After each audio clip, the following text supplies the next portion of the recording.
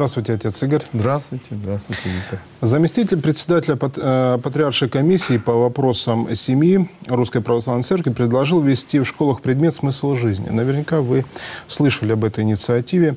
Э, и мне хотелось бы у вас спросить, а что такое смысл жизни для православного? Я думаю, что не дам однозначный ответ, который удовлетворит всех православных. Потому что, конечно же, это не вот строго очерченное, догматизированное кстати, определение. Э, для меня смысл жизни, наверное, кстати, это все-таки э, ну, многоплановый, конечно, тут много вмещается, но это, наверное, достижение спасения. Угу. Реализация, если так, может быть, механично звучит, реализация любви в этой жизни – вот скажите, э, путь христианина, как мне это представляется, это э, путь веры. Но вот вера – это инструмент или это цель в жизни человека? Но вера, я не думаю, что цель. Все-таки цели у нас стоят другие.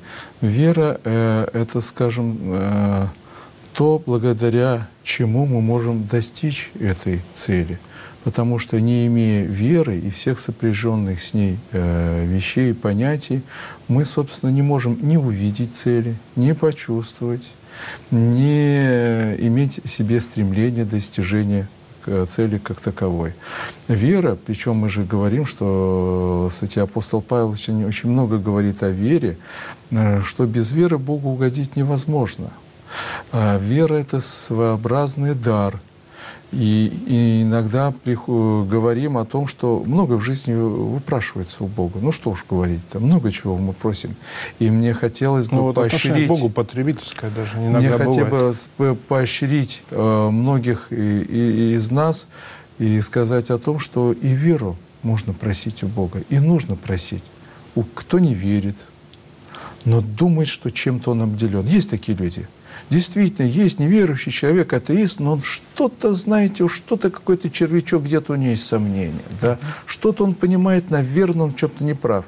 Но пусть это будет меньшая часть атеистов, другие там твердокаменные во всем уверены, но есть, я знаю по личному опыту, такие люди. Так вот, э, обратись к Богу, проси о вере. А, тот же совет и тем сомневающимся, которым думающим, с одной стороны, кстати, отвлекающимся так на какие-то события и чувствующим, что да, хорошо, но в жизни своей, в принципе, живущих абсолютно не по вере, всем, всем можно просить этой спасительной веры. И Господь, дающий просто, я думаю, что не оставит наши прошения. Вот такие прошения без внимания Он не оставит. А знаете, как говорят вот об атеистах, что э, всякий атеист до первой тряски в самолете. Да, вы, вы знаете, я не слышал этого. Но я думаю, что есть, вы знаете, от Бога, так сказать, от природы, ну, как бы они сказали, есть люди и э, очень мужественные которым мы боюсь, что даже некоторых единиц, уже даже встряска в самолете или качка на море может, э, знаете, не взволновать, не убедить. Есть такие единицы. Но большинству, конечно же, Господь и в этом открывается. Продолжая тему э, атеизма, я хотел бы зачитать вопрос одного из наших телезрителей. Я атеист и считаю э, праведностью соблюде... и считаю праведностью соблюдения нравственных норм и норм морали. Я не чту библейских заповедей, но живу честно. Разве это грех? Петр Громов, 32 года, станица Павловская.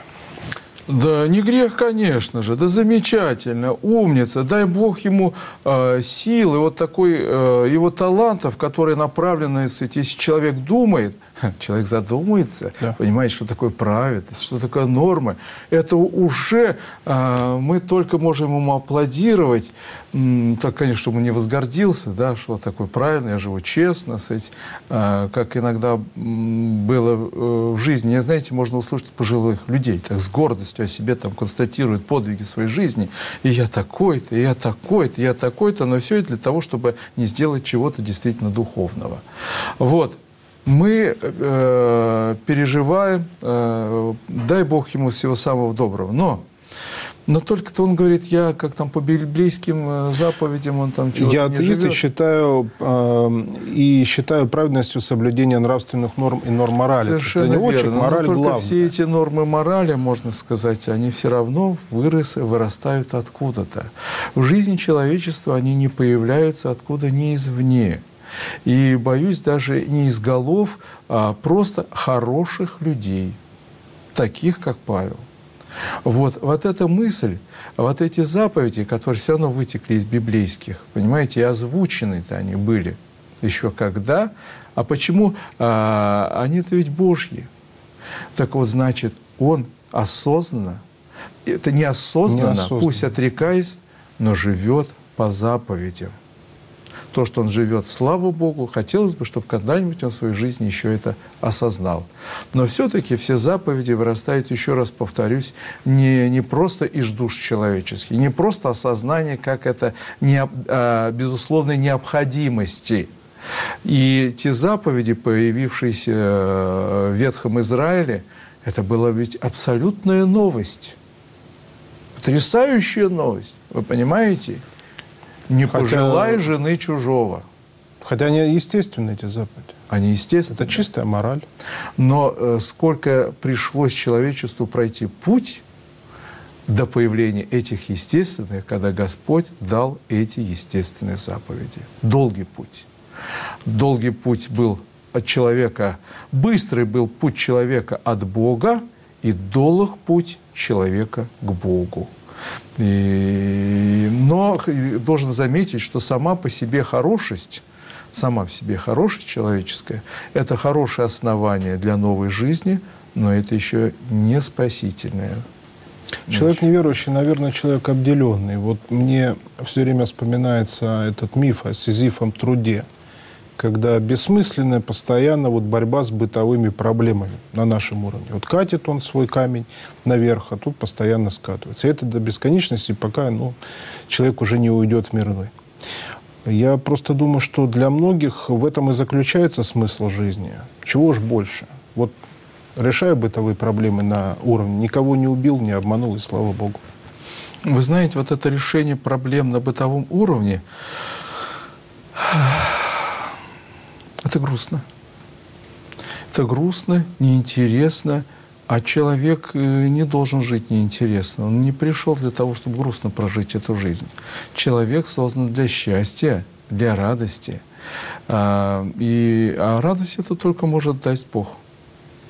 Радость это не купить ни за какие ковришки. Это радость э, поступления твоего ребенка на бюджет не может превысить радость о Христе.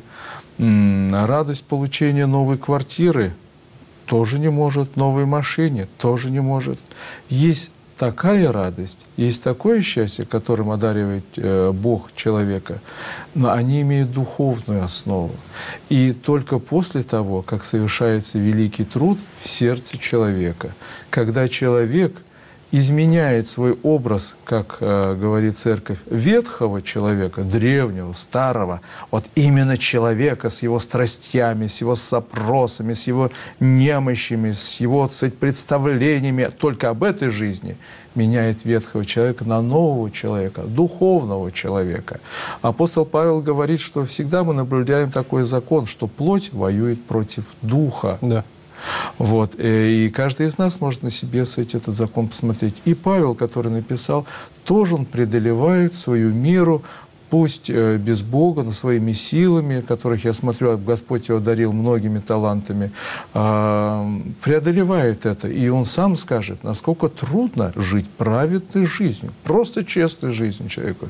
И дай Бог сил каждому из нас – Божьей помощи в том, чтобы действительно достичь праведностью, но не только своими силами. А подлинной праведности своими силами достичь невозможно. Это, и этому есть опыт тысячелетний. Я вот как-то слышал высказывание о праведниках, как о людях слабых, дескать, жизнь у них не сложилась, придумали себе Бога для того, чтобы как-то утешиться. А вот я богатый человек, у меня там машина, квартира, все есть, жена, любовница, все сложилось хорошо. Чё- зачем мне это нужно? Вы знаете, это просто, как вам сказать, от небольшого ума такие сказать, слова, потому что это значит, человек вообще ничего не знает. Ну, просто ничего. А от того, что в голове есть, изрекает свои суждения. Конечно же. Верили, будут верить, скажем так, не только несчастные.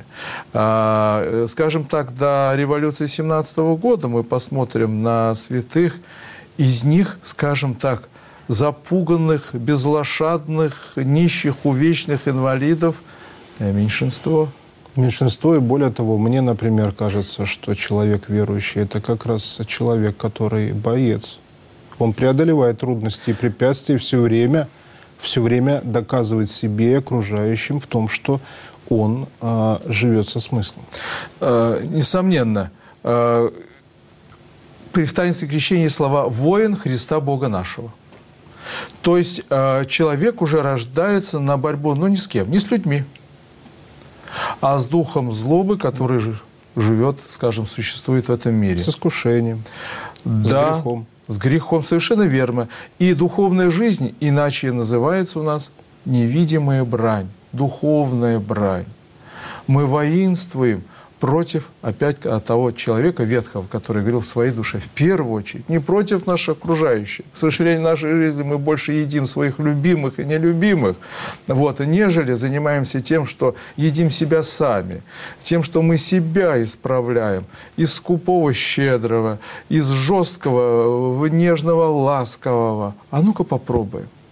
Вот задача удивительная. Тогда и ты уйдешь от этой простой э, бытовухи, понимаете. Заработал, не заработал, купил, не купил, пошел, не пошел, шашлык получился, не получился. Неважно. Заболел, чуть-чуть получше стало или нет. Тогда ты действительно э, можешь как-то над собой э, творить. Ты становишься художником. Никогда не надо забывать, что мы с вами свободные люди. Мы творцы. Мы же идем вслед э, по стопам своего Творца. И значит, в какой-то мере каждый из нас это Творец. Каждый. И это дано. И Господь дает инструменты для того, чтобы человек смог себя э, изменить к лучшему. Отец Игорь, я слышал такую фразу неоднократно. «Прожить для себя – это растратить жизнь впустую». Наверное, это фраза об эгоизме, наверное, да, вот себялюбии такого вот. А, может быть, э, честолюбие. Но, с другой стороны, если Бог внутри каждого из нас, все мы носим частицу Бога, то жизнь для себя – это жизнь для Бога в том числе, нет? Вы знаете, мы здесь просто с разных сторон можно смотреть э, на, на это выражение. Я бы хотел бы, кстати, отметить то, что э, есть такое выражение «спасение, наше спасение в руках ближнего». Я хотел бы отметить вот эту сторону. Почему в руках ближнего? Это говорит о том, что когда мы с вами перекладываем акцент своей любви, своих действий с себя, а на ближнего – Э, не тем, чтобы требовать от него совершенства, да, а наоборот, несмотря на его совершенство, подарить ему все, что у меня есть, это невольно или невольно изменяет нас, делает такими же прекрасными, э, совершенными людьми. И посему, если... Э, бывает так, что очень плохо, каждому из нас очень плохо. И отцы говорят, что в такие минуты вы в первую очередь должны оказать помощь тому, кому еще хуже. А таких всегда найдется много. тот, кому да. еще хуже. Да, сегодня, кстати, я э, был, э, посетил э, ЗИП, больницу в ЗИПе, да, и был в реанимационном отделении, посещал человека. И вы знаете, в итоге там было трое посетителей. Я и двое те, которых я знаю. И мы изумились тому, что когда мы ходим по этим улицам, светит солнце, кажется, люди радуются, какие-то свершения, когда мы приходим туда, мы видим, сколько горя, сколько боли. И опять, и слава Богу, что я был сегодня какой-то удивительный день, что мы все собрались верующие люди, и в одном месте, вы знаете, как-то мне не страшно. Каждый из них молится. И их любимые знают об этой их молитве. И я думаю, что им становится легче даже в такой тяжелой болезни. Спасибо вам, отец. Благодарю вас.